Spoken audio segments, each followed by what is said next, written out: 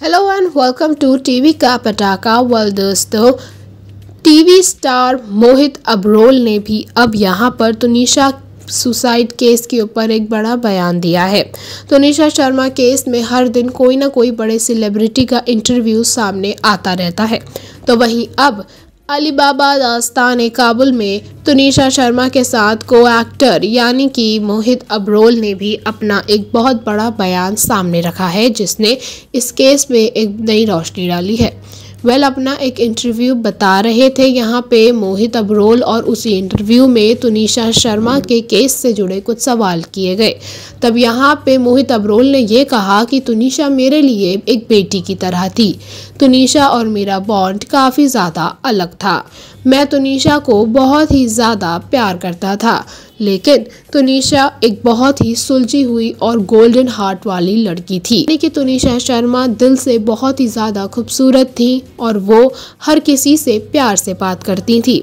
उनका बिहेवियर बहुत ही ज़्यादा अच्छा था। वो कभी बदतमीज़ी से बात नहीं करती थी। कभी भी इतना सक्सेसफुल और बड़ा करियर होने के बावजूद उनमें एरोगेंस नहीं था। लेकिन दोस्तों, मोहित अबरोल ने एक बड़ी बात बोली है। मोहित अबरोल ने बोला कि उन्होंने अक्सर लोगों को तुनिशा और शिजैन के रिश्ते पर गॉसिप करते हुए सुना है। कई बार उन्होंने इस बारे में आसपास के लोगों को बात करते हुए सुना, लेकिन उन्होंने कभी भी पर्सनली जाने की कोशिश नहीं की। तुनिशा से वो बहुत ही ज़्यादा प्यार करते थे, लेकिन हमेशा ही एक बेटी के तौर पर उन्होंने तुनिशा को देखा। उन्होंने कभी भी उनकी पर्सनल लाइफ में दखल अंदाजी करने की कोशिश नहीं की, और ना ही दूसरे लोगों से तुनिशा और शिजैन के रिश्ते पर कभी किसी तरीके का गॉसिप लेने में इंटरेस्ट इंटरेस्ट लिया। वेल well, इस बात से साफ़ होता है दोस्तों कि कहीं ना कहीं शिजैन और तुनिशा का रिश्ता तो था और रिश्ता बहुत ही ज़्यादा करीब था तभी लोगों के बीच में भी बातें हो रही थी। लेकिन मोहित अबरोल इस पर अपना किसी भी तरीके का कोई भी बयान देने से बच रहे हैं।